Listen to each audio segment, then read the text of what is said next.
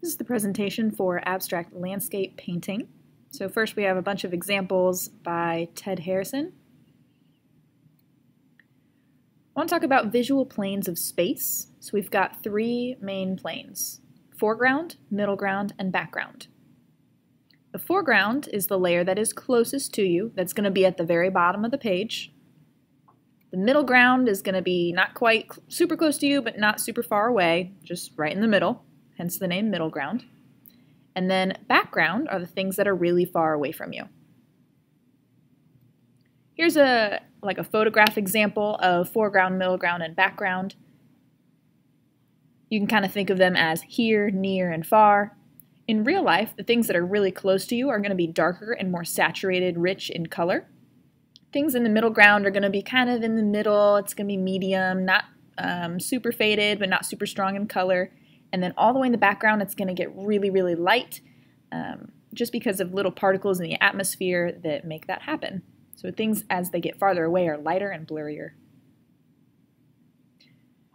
So Ted Harrison uses layered values in his landscape, and he is a painter in Canada, so he paints a lot of the Yukon Territory in Canada. So those pictures on the left are from the Yukon Territory, and then on the right is his painting of one of the areas he visited. So we're not going to do the dark close to us, uh, medium in the middle, and then light in the background. We're going to make it a little more abstract. We're going to have these layers of different values. So this is Ted Harrison right here in front of one of his paintings. And as I've uh, just mentioned, he works a lot with those layers of values. Um, so he works with a range. And I'll talk about values right here. So value, just like we did with the portraits, refers to the lightness or darkness of a hue or color. When we did with the portraits, we were just doing pencil, so we just did grayscale. So it's like the lightness or darkness of gray, really. And now, since we're going to be painting these, we're going to be use, using the word value in terms of color and paint. So a tint is when you add white to a pure hue, or if we're using watercolor, which is what we're going to do for this project, it's when you add extra water. Adding extra water to your color is going to make it a lot lighter. So a tint is when you make your color lighter. And then a shade is when you add black to your pure hue, and it's going to make your color darker, just like that second row of reds.